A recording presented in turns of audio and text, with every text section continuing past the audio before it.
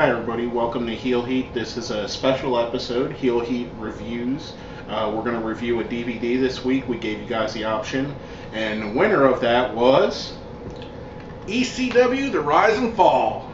The Rise and Fall of ECW. My name is George Coles. This is my tag team partner, Pitbull number two. Oh, thanks. That's Gary Rhodes. Thank you very much, Levon. You're welcome, Mama Faye. And let's let's get right into it. We got the um, the rise and fall of ECW, uh, one of the most influential companies in the history of wrestling. Um, it goes right into it. You know, you got your guys that were there at WWE at the time, uh, Dreamer, Paul Heyman, uh, the Dudleys, Spike Dudley, um, Chris Jericho, Taz, Benoit. Benoit, Ron Buffon, and they're all basically the guys you see in the interview. Um, and they go right into it. They start with the the, the origins with uh, Eddie Gilbert and Todd Gordon starting the company as Eastern Championship Wrestling, and then Paul, Paul stepping in and Paul taking over and the thinking that the wrestling business needed to have a change. And at that time, um, the early '90s, it was the wrestling business had become stale, just like the music business had. And they say it in the DVD. This is a quote from Paul Heyman.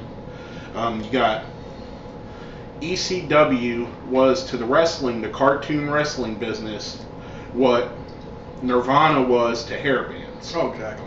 And, and there there couldn't be a more perfect example. Both of them had a short short run, but they were more influential than probably anything that's been out since the Beatles or since Luthez. Luthez, yeah. I And- far back. And you know, and it's it's a perfect example because wrestling at the time had become Doink the Clown, Duke the Dumpster Droese, the Ding Dongs, Herman Acronym, Shyster. the Shockmaster. You know, Oh. it become it became all gimmicks. Everybody had a night job. Wasn't Vince paying you enough? You had to be a you had to be a race car What was, driver. what was the dude, the Dirty White Boys thing? Uh, it's T.L. Hopper. Exactly. TL Hopper, yeah, and Now- a wrestling plumber. Exactly. Well, you know the thing I loved about this DVD, and you know, like I said, I'm not a giant. I wasn't like a big old ECW mark. It wasn't my favorite group, not like this guy. But I love the DVD just for the plain simple fact it was unfiltered. You know, people drop the f bomb. People say fuck, shit, motherfucker, all that stuff all the time in real life, just like they did on the show. And you know, it, it sucks that most DVDs that you get now that Vince makes, since Linda's in the politics right now, is all bleeped and blurred, PG, no PG-13 here, They folks. cut out Steve Austin's fingers. Oh, exactly. He's- he goes like this when he's up on the ropes. I mean, come on, we know what this is. We were there. Treat us like adults, damn it. We You watched know, it. It's like this. The re- I think the reason that they went to eight o'clock is because it was past most of their viewers' bedtime at nine, so they had to get some more kids in. But let, let's not even harp on all that. that. Um, the, the the fact that this thing was just so raw, and it, it really went into depth. It wasn't like, well, ECW was around in 1993 and it was in Pittsburgh or Philadelphia, Pennsylvania, and it got shut down. city in the world. Whatever, and it got shut down in 2000. The end. These are some of the guys that worked for us. Period. Exactly. And they, they did. They got into it. They did well. They went in. And uh, another thing that they, they really focused on, and all the guys that on the DVD even said it, they really focused on how much influence the fans had on the product. The fans are what made people. The fans Exactly. made Tommy Dreamer. They made Raven. They made the Dudley Boys. If the fans didn't hate the Dudley Boys, the Dudley Boys wouldn't be eight-time World Tag Team Champions. With that company, how many times total? 23. Exactly, that's a mark. Anyways, um, right Get now, the tables, Bubba. exactly. Right now, I mean, we don't have that no more, and that's why we like showing this DVD, is because back then you had a choice. Yeah. Now you don't. You're spoon-fed baby shit. You're, Well, you got a choice, but it's TNA and WWE are the choices, and TNA is trying to be WWE. exactly. I mean, you really don't have a choice. You have a choice, but you don't have a choice. You know what I'm saying? Yeah, your choices are are Pepsi or Diet Pepsi. Exactly. And and when ECW came around, it was like you had a choice between Pepsi, Coke, and Heineken. Oh yeah. I mean, And it you was could drink way that. more adult. You could drink the Heineken if you wanted to. You know, if that was your cup of tea, drink the Heineken, drink the whiskey, Steve or you could go back to the Kool Aid that was being put out by WWF at the time. Exactly. Know, I'm not talking shit about Vince. I mean, No, we love Vince. exactly. I mean, it's it just back then it was a, more of a choice, and Paul Heyman is what He's a messiah of wrestling. exactly. I mean, I say that I set him up like that because that's his hero, and I, I like Paul. Paul Paul's probably one of the biggest geniuses in the history of wrestling. He's one of the smartest minds that's ever done it, uh, right up there with Vince McMahon. Mhm. Um, if if Paul Heyman would have had the bankroll that Vince or Ted Turner had, he would have killed him. Exactly. I mean, he There would more be no- cutting edge. Yeah, he, he was so far ahead of his time that you can look at the guys that are in there now. The guys like Daniel Bryan, um, AJ Styles, uh, CM Punk, Exactly. uh, Samoa Joe. All these guys that are huge now were they would be nothing without Paul Heyman's influence on wrestling. Well, and plus with Paul, with ECW, you had the best rivalry in wrestling. Not, I mean, and I'm a, I'm a Raven mark, and I think the best rivalry was him and Tommy Dreamer. It was fantastic. You had it went over two and a half, three years. Um, you built. Look at how many careers were built: the Pitbulls, the Dudleys, uh, Stevie Richards, Blue Meanie, um, primetime Brian Lee. And Raven was just an evil genius in the ring. You know, Yeah. it was just like anything he could come up with to foil Tommy's plans to get even would work. And, And- it, it wasn't like with WWE where you know the good guy has to win. And they even said it on the DVD that Paul Heyman says Raven was the character that inspired him to write better. Oh, exactly. And you know, you, you don't get that. It, I think personally, it's probably right up there, rivalry-wise, with Bret and Mike, Bret and Shawn. Yeah. You got Bret and Shawn, Raven and Dreamer, and probably Flair and Steamboat are probably the three. Three big, and I just uh, I like the Raven and uh, Dreamer one just for the fact of it is is with Shawn and Bret there was legit hate. I don't care at certain points. With Raven and Dreamer and you know kayfabe or whatever, they were friends. Are you breaking K five? I, I'm breaking kayfarva. That that uh, right there, Joseph. Joseph Park. I'm a, I'm a lawyer. Anyways, keep breaking kayfabe with me. Um, anyways, I mean, these guys trust each other to get each other over. And, you know, Bret and Shawn at their points of their rivalry, their high point rivalry, they were already over. They, you know, with Raven and Dreamer, that just built their careers on each other.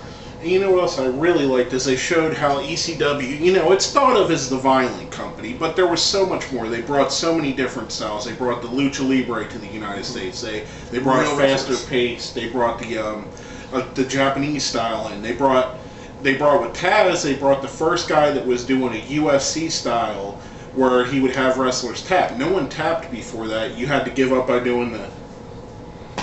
That was the way you You used to give up. time, I guess I didn't lose. Well, you're just gonna hulk up if I do it. I know I was going to. I'm a motherfucker for that. but you know that's that's why that's why you know they brought that in and now everybody taps tapping's a thing you know Exactly. daniel bryan's shirt says everybody's gonna tap Well, you got that shirt too. i do got that Right before the Yes shirt happened too. Well, you know it's still a cool shirt Yeah, it's a cool shirt. Um, you know you got him they bring they bring all these styles out and showcase different wrestling and you know the, the dvd it shows it perfectly you, you it played to everybody's strengths you had a guy like like sandman who had no in-ring talent Oh, but they God. masked it with a great gimmick and a his great intro, entrance his entrance was just probably what made him. other than the Undertaker, probably the best entrance in the history of wrestling.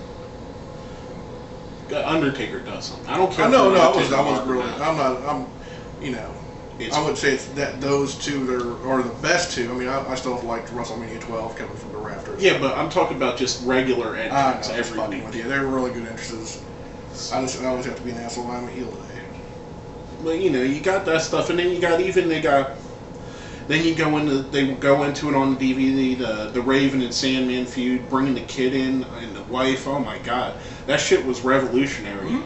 I mean, no one no one did that before. No one's done it since because of how controversial the angles were and Well, it's like the whole deal with speaking of angles, with you know the crucifixion that didn't get televised because of when uh, Raven crucified Sandman and Kurt pulled a big old bullshit where I'm not going to wrestle for you and this tape better not be shown or I'll call my lawyer.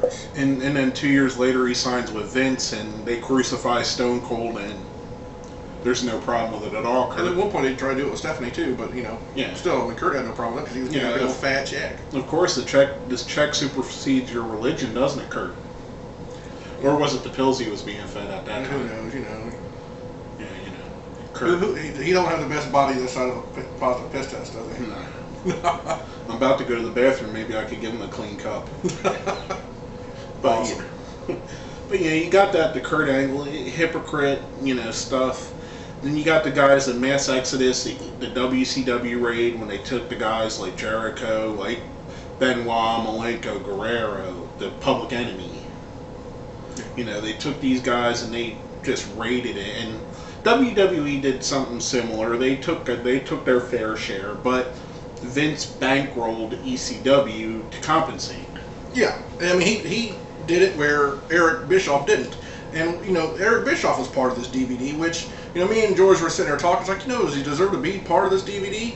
And I, I have to think, yes, for one reason. Vince is on there, and even though Vince owns everything, But see, they got guys like Eric Bischoff on there, and then they're ignoring guys that meant so much to the company, like Shane Douglas, probably the greatest champion they had in the company.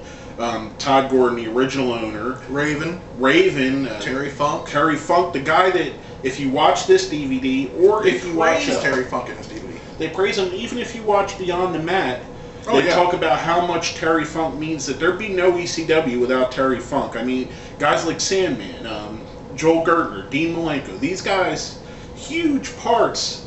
Um, Too Cold Scorpio, Yeah. huge parts of ECW that are just missing. That uh, you know, Steve Corino, just incredible. Guys like this that just aren't on the DVD. And I don't want to hark on what's bad because overall, it's a wonderful DVD. It's a fantastic DVD for fans of ECW, for people that have never seen ECW before, have no clue, just have heard the, Mhm. the letters being chanted. Because to this day, 12 years after it shut down, R.I.P. they're still chanting the letters. Exactly. ECW still gets one of the biggest chants. Well, I mean, honestly, like I said, this uh, out of you know one of five stars, this is a five star DVD. Five. I would definitely agree. It's a five star DVD. It's a must have. Whether you're an ECW fan and you just want to relive the relive the magic, whether you've never seen it and you want to see what the hype was about, I, I would recommend this to everybody. If you have, you know, if you have a teenager that's a wrestling fan, say, look, kid, this is what it can be. Mm-hmm. This is where This is what you're missing right now. This is what made me a fan when I was a kid. These were the good old days. These, I mean, and- honestly, they- don't want to sound like those guys. You know. no, but it, it honestly was. I mean, honestly, once you sit there and watch this, it, it's like, man, why the fuck is John Cena a champion? Why the fuck is this? You know, what, what am I watching this shit for? Yeah, well, well- we don't want you not to watch wrestling, but you know, Because then we don't have a fucking show. exactly. If you don't care about wrestling, you don't care But it, about our it, shit. just brings the passion back, you know. I mean, I, I, I hope that one day that an Attitude Era will come again. I, I'm, I'm thinking one is. I honestly do. I think that Punk will be the the new leader of the Attitude Era. And you know, you got Heyman's in there doing his stuff. Maybe they'll give Heyman, you know, because Triple H is taking over more power. Maybe Heyman will get some power. And I know that there was a problem with Stephanie and Heyman. Don't I know you don't have to tell me that, but maybe Triple H knows what's best for the business. he does. And you know, it's just like what Bubba Ray Dudley said in this DVD. Paul Heyman. Bully Ray. Well, anyways, but Bubba Ray Dudley says that Paul Heyman just like him? is an evil genius. Yes. And he is. I mean, he just can write anything. If Paul Heyman was a better businessman, ECW would be around right now. You, you have, have CM Punk working for him, uh, Ryan Daniels, uh, Samoa Joe, Samoa Joe, Chris Hero, Chris Hero. uh, Jon Moxley. hmm all these guys probably there'd be no Ring of Honor because that was made of guys that you know were working Cesaro. for. I think Cesaro would have style for that. I like his style. Oh, he's a good, great wrestler. Wonderful. He's got a great look to him too. Mm-hmm. And he's going to go somewhere. He's going to be big. Could have been a contender. Could have been a contender. It could have been a contender. You know, it's a wonderful DVD um, for anybody from the most hardcore wrestling fan to the newest of new wrestling fan. Watch this DVD, see where the Attitude Era started, see where the change went from Koko B. Ware and Doink the Dumpster Droese, TL Hopper, Sparky Plug, And the all that, all those bullshit gimmicks, and then see the where Shockmaster. we got what we got now. You know, See where the reality started coming in. exactly. Where people started being themselves just with the amplifier turned up to 11. But o- overall, I give it a five out of five. You give it a five out of five. Must buy, must own. If you don't own it already, go on Amazon, go on eBay, um, find it wherever you can, and buy this DVD. Now for the next choices we're gonna have, your your choice. Well, for our next our next review show, which I don't know when we're going to tape it, um, my choice is going to be 20 Years Too Soon, Superstar Billy Graham story, and my tag team partner Pitbull Number Two. Back in Black, the NWO, New World Order. Both of these, you know, good DVDs. Oh, great DVDs. We've watched them both. Um, we want you guys to give your opinion. We're gonna put a we're gonna put it up for vote on the on our Twitter, on our Facebook. You can uh, put it in the comments here if you want to watch the superstar Billy Graham. 20 years too soon. Or Back in Black, NWO. Let us know which one you prefer. We let you guys vote on this, and this is what you picked. We, you know, I, I think you, you- they did a good choice with this pick. I mean, I like both choices we had, Right. but uh, like I said, this one here was one of my favorite DVDs. Exactly. Mine as well, and I'm a huge ECW mark, so thank you for picking that. Um, but with that said, this has been our first review show here at Heel Heat.